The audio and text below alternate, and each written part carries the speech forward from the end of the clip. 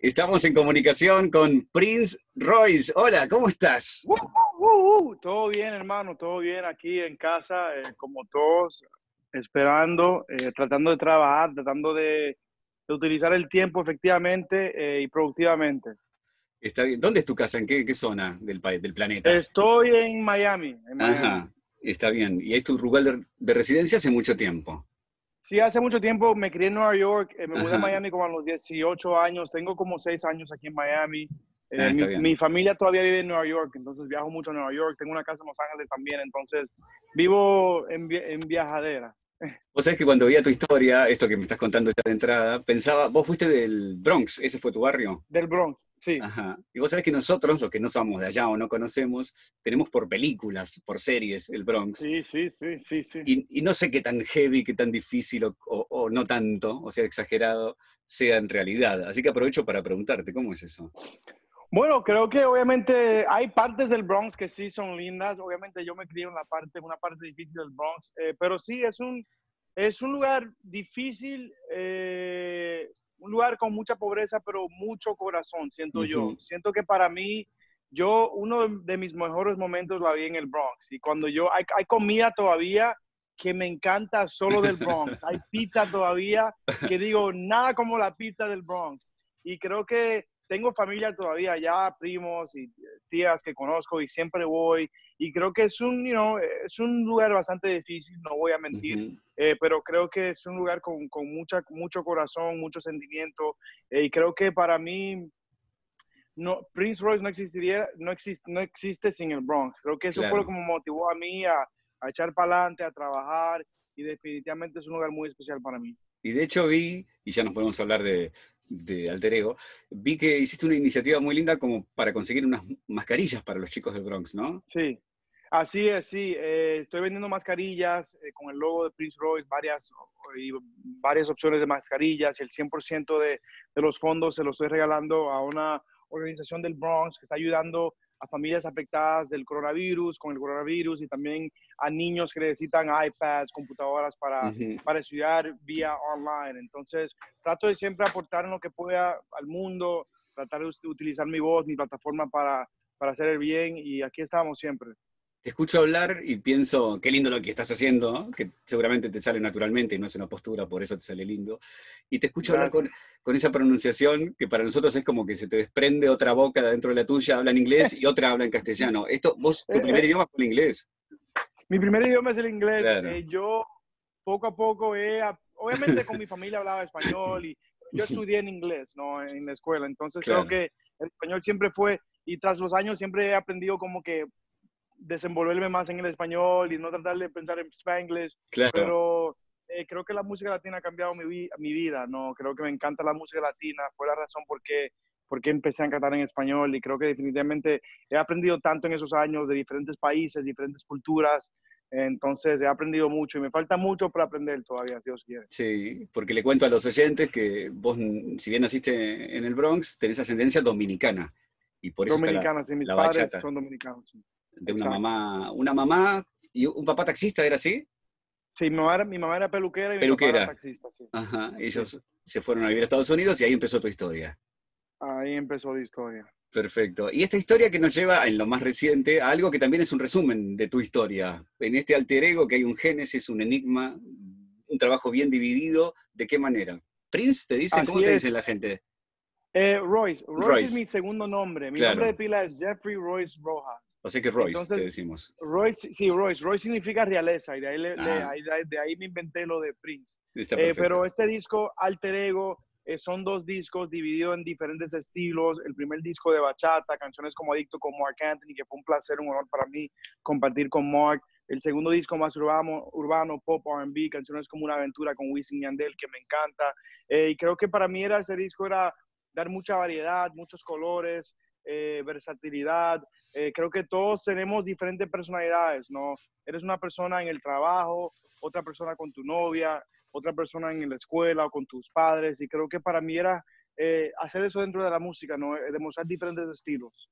Me gusta, me gusta esa idea porque además vos la, la pones en práctica, con esa conexión con lo clásico, con la bachata clásica y con estas combinaciones de lo urbano que también te llevan a sonar con otra cosa, por ejemplo, en las radios de Argentina, ¿no? Así es, trato de siempre, creo que la música es, es, es, algo mágico y yo para mí trato de, si tengo una oportunidad de llegarle a un público diferente con cada canción, ¿por qué no? Trato de que mi música pueda llegarle a, una, a la abuelita, al niño de, de 15 años, al otro de 25, una persona de 40 años, trato de siempre como que, y por eso trato de siempre como que de dar diferentes estilos, diferentes géneros y tratar de llegar al mundo, ¿no? Poco a poco. Vos sabés que nosotros somos una radio, Vale 97.5, que pasa mucho de lo clásico, de hecho las bachatas clásicas de tus antecesores también, y mucho de lo urbano. Combinamos mucho. Claro, tu música está presente, te diría desde siempre. Yo creo que hay siempre una canción emblemática que hace que aún el que no conoce el género conozca a ese artista por esa canción. Y Darte un beso fue una canción que acá inundó la Argentina en su momento. Amén, amén. Darte un beso fue una canción muy especial y creo que también por esa fusión también, por esas fusiones de diferentes sonidos del ukulele, del reggae, de la bachata, del pop también. Y creo que me encanta cuando canciones así, ¿no? Que son muy especiales, rompen barreras, ¿no? Esa canción ha viajado el mundo y mucha gente que no conocía bachata Eso la conoció por, por esa canción y creo que definitivamente para mí ha sido un placer y un honor formar parte de ese movimiento latino este movimiento que te lleva en este disco. A mí me, encantó el concepto este de alter ego, lo que vos definís como que, además me puse a empezar en los alter egos de cada uno de nosotros. De hecho, lo voy a usar para consigna mañana en la radio, mira. Esto de ir pensando en el alter ego que tenemos todos, que lo tenemos además, es así. Lo tenemos todos, aunque uno no, y no significa que, hacemos que tengamos doble cara. No demonio y, angelito. Pero definitivamente todos tenemos eh, diferentes personalidades y por qué no, si así somos humanos y, y mañana o un año puede ser otra persona, ¿no? Y es parte del crecimiento y este Prince Royce que tiene de alter ego esa bachata clásica que mencionamos y esta urbana que ahora te llevó, bueno, ahora no, hace un tiempo, pero la venimos escuchando, a juntarte, a juntarte con Mike Towers y la combinación es re lindo lo que se ve en Carita de Así es, me encanta, ¿no? Mike Towers, soy fan de su música, creo que sigue subiendo, sigue progresando y, ver ese crecimiento para mí ha sido un placer, eh, me cae súper bien, le mete al trap, al reggaetón, al rap y cuando le envié este tema, eh, le dijo, man, le voy a meter cabrón, voy a, voy a hacer algo diferente. Y, creo que para mí me llena mucho orgullo ver que mis colegas se, se, toman ese reto, ¿no? Ver, ver que Shakira cantó bachata por primera vez. Ver que Eso me gustó. Cantó bachata por primera vez. Y, y, es algo diferente para ellos. Y luego ver que suenan bien o que le dieron, aportaron con su talento, para mí ha sido un honor y un placer eh, ver cómo mis colegas han apoyado el género bachata también. Porque hiciste, hiciste debutar en bachata ya a Shakira, a Marc Anthony y ahora a Mike Towers también. Mike Towers también, eh, ¿quién más? Sé que hay otros por ahí. Maná también cantó en bachata, Maná, que, es, que es un grupo icónico. Eh, es impresionante y espero que espero espero ver más gente cantar bachata y espero ver más gente creo que es un buen momento para la música latina en general así que a esos chicos y chicas que quieren ser cantantes eh, ahora es el momento para, para demostrar su, su, talento. Qué fantástico lo que está pasando con la música latina, porque yo creo que empezó un poco con la bachata, porque en un momento toda canción tendría que tener su versión bachata, y ahora tiene que tener su versión urbana, ¿viste? su versión urbana, así es, y, y así es la moda, ¿no? así, así es la música, ¿no? y vendrán y van a entrar y salir nuevos géneros y nuevos artistas y creo que para mí es un placer y para mí mi meta es tratar de, de seguir ahí sacando música y también colaborar con esos artistas nuevos que también eh, tienen, han traído su, su flow y su talento diferente a la música también. Bueno, te, quiero, para cerrar, quiero que me cuentes cómo estás viviendo la cuarentena vos, este momento tan particular del planeta. Es un momento muy raro, muy crazy. Eh, al principio era muy difícil para mí uno a veces dice, no, yo no salgo, no me va a ir tan mal. Luego ves y dice, wow, estoy encerrado. Eh, eh, pero creo que para mí he tratado de mantenerme productivo, de utilizar este tiempo para conectar con la prensa, con los fans, con el público, eh, con mi familia. creo que en mi familia, en mi caso, nos ha unido, no ha unido un poco más. Siempre estamos en FaceTime, estamos jugando juegos videos en Xbox y PlayStation, todos los primos, y creo que es un momento para, para unirse eh, rezo por todas esas familias que han sido afectadas por esto, en esos negocios, ¿no? Que sé que hay mucha gente que han trabajado una vida entera y, han sufrido sus negocios y esperemos que, que, salgamos de esto mejor que nunca, ¿no? Creo que eh, muy triste lo que está pasando y hay que mantener la fe.